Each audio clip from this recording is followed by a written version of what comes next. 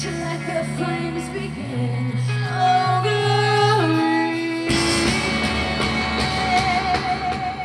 After the tremendous chart success of the singles Misery Business and Crush, Crush, Crush, Paramore have released their third single from the groundbreaking album Riot. The record, which is the band's second album but first on Atlantic Records, showcases a rising band with talented songwriters and a vocalist that appears ready to take the music world by storm.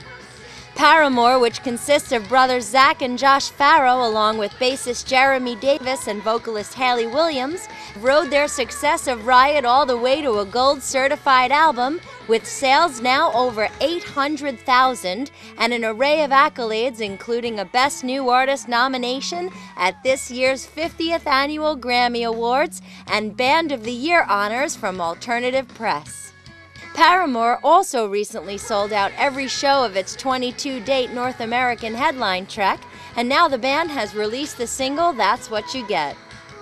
We caught up with Josh and Zac to get their thoughts on the band's latest single. I wrote that music and just sort of sitting in my bedroom, and I was like, "Oh, this is pretty cool."